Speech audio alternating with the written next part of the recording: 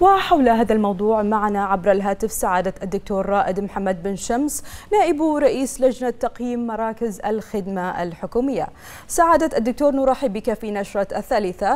هل تخبرنا ما أثر دورات تقييم مراكز خدمة العملاء المتتالية على تعزيز المنافسة بين هذه المراكز وأيضا على تحسين جودة الخدمات التي تقدمها؟ مرحبتين مسيكم الله بالخير يعطيكم الصحة والعافية. أول شيء شكرا على هذه الفرصة اللي نبين فيه الجهد اللي يقومون فيه مراكز الخدمة أه، وكذلك جهد اللجنة في تقييم مراكز الخدمة.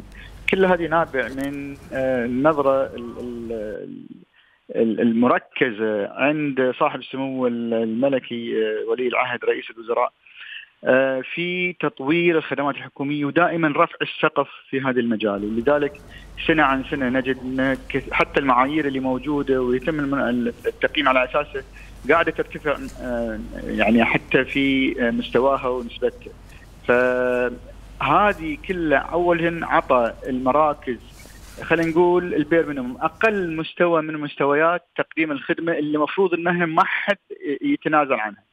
واللي على اساسه يصير المراكز تاخذ المراكز الفضية أو ما شابه ذلك بعدين نعم. في مستوى أعلى المستوى الفض المستوى الذهبي والآن كذلك في شغل حثيث عشان ينزل كذلك المستوى البلاتيني لمستويات خدمة أكبر. ارتفعت نسبة المراكز اللي تستوي في 90% من المعايير الأساسية تقريبا نسبة 48 فوق ال 40% 42% حقيقة.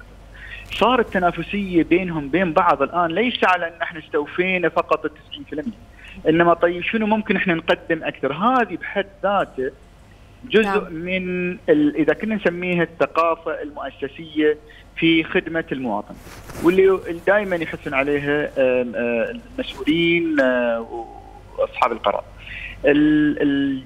المعايير كثيرة جدا عشان يتم الاستيفاء لها. وبعضها حقيقة صعب لكنه سنه عن سنه عطى مجال للمراكز إنهم يتعلمون من أخطائهم ويعدلون هذه الأمور وينتقلون إلى مستويات أعلى وبعضهم بالمناسبة ما قدر إنه شو اسمه خسر المستوى اللي كان موجود فيه لبعض الأخطاء يمكن قد تكون بالنسبة لهم يشوفونها بسيطة لكن حقيقة من ناحية المواطن لا لأن هي مهمة جدا نعم. على أساس ما حصلوا على الجوائز اللي كانوا محصلين عنها قبل. كل هذه الهدف الأساسي منه اولا وأخيرا هو رفع سقف طبيعة ونوعيه الخدمات المقدمة للمواطنين. أه، وهذه هي المنافسة الحقيقية ولذلك بدأت الوزارات والمؤسسات الخدمية تتنافس في إنه طيب إحنا الآن وصلنا لهذا المستوى شلون ممكن نزيد الخدمات الموجودة عندنا. جات الجائحة جائحة كورونا وعطت كثير من الوزارات المجال إنهم ينتقلون إلى الخدمات الإلكترونية. وهني صار في معايير جديدة الآن لتقييم الخدمات. نعم. لو ناخذ مثال على ذلك آه، معيار تقديم آه، إنجاز الخدمة على حسب اتفاقية مستوى الخدمة. آه، ارتفعت بعض المؤسسات تقريبا فوق 30% عشان يستوفون المقياس اللي موجود. لكن في بعض الوزارات بعض المؤسسات وبعض مراكز الخدمة للأسف نزلت خدماتهم وهني بينت في التقييم واللي على اساسه صار عدم إعطائهم الجائزه أو حجب الجائزة عنهم في هذا المجال فدائما الأساس هو كيف ممكن إن إحنا نخدم المواطن بغض النظر عن طبيعة القناة اللي يتم وصول الخدمة له.